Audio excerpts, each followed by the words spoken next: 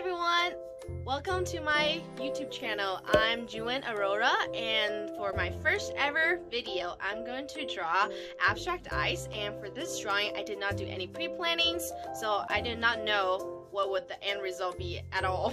Uh, I was originally planning to do simplistic, but it did not turn out that way. So let's get on with the video and see how it goes with all the 50 plus colors.